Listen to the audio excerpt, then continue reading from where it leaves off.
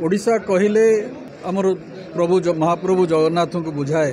ତାଙ୍କର ମହିମାକୁ ଆମେ ଆହୁରି ଅଧିକ ବ୍ୟାପକ ଏବଂ ବିସ୍ତାର କରିପାରିବା। ସେଭଳି ଏକ କାର୍ଯ୍ୟକ୍ରମ ମଧ୍ୟ ଏ ସରକାର ହାତକୁ ନେବ ଏବଂ ଆମ ଜନଗଣଙ୍କର ଆର୍ଥିକ ଉନ୍ନତି କ୍ଷେତ୍ରରେ ବିବିଧ କାର୍ଯ୍ୟକ୍ରମ ମଧ୍ୟ ହାତକୁ ନିଆଯାଉଛି।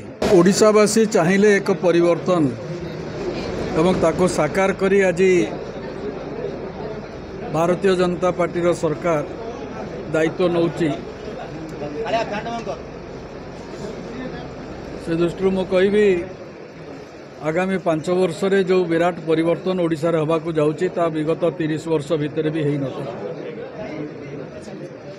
ନୂଆ ଓଡ଼ିଶା ଗଠା ହେବ ନୂଆ ଉତ୍ସାହର ସହିତ ଲୋକ ଆଗକୁ ବଢ଼ିବେ। ବିଶେଷ କରି ଯୁବବର୍ଗ ଯେଉଁ ଆଶା ଏବଂ ସମ୍ଭାବନା ଦେଖୁଛନ୍ତି ଭାରତୀୟ ଜନତା ପାର୍ଟି ଜରିଆରେ ତା ସଫଳ ହେବ ଏ ବିଶ୍ୱାସ ମୋର ଅଛି। ଆଜି ତ ଚାରିଦ୍ୱାର ଖୋଲୁଛି ଜଗନ୍ନାଥ ମନ୍ଦିରର। ଆଗକୁ ବରୁଣେଇ ପାହାଡ଼ ତଳେ ଏକ ଭବ୍ୟ ପାଇକ ସ୍ମାରକୀ ତିଆରି ହେବ।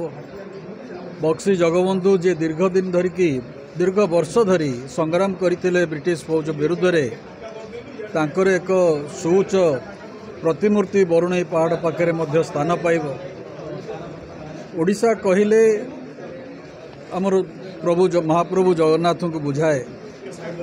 ତାଙ୍କର ମହିମାକୁ ଆମେ ଆହୁରି ଅଧିକ ବ୍ୟାପକ ଏବଂ ବିସ୍ତାର କରିପାରିବା। ସେଭଳି ଏକ କାର୍ଯ୍ୟକ୍ରମ ମଧ୍ୟ ଏ ସରକାର ହାତକୁ ନେବ ଏବଂ ଆମ ଜନଗଣଙ୍କର ଆର୍ଥିକ ଉନ୍ନତି କ୍ଷେତ୍ରରେ ବିବିଧ କାର୍ଯ୍ୟକ୍ରମ ମଧ୍ୟ ହାତକୁ ନିଆଯାଉଛି। ସବୁଠୁ ବଡ଼ କଥା ହେଉଛି ଓଡ଼ିଶା ଲୋକ ଓଡ଼ିଶାରେ ନିଯୁକ୍ତି ପାଇବେ ଏବଂ ସେମାନେ ଆଉ ଦାଦନ ଖଟିବାକୁ ଯିବେ ନାହିଁ। ସେଭଳି ଏକ ଯୋଜନା ଏ ପାଞ୍ଚ ବର୍ଷ ଭିତରେ କାର୍ଯ୍ୟ କ୍ରିୟାନ୍ୱୟନ କରାଯିବ।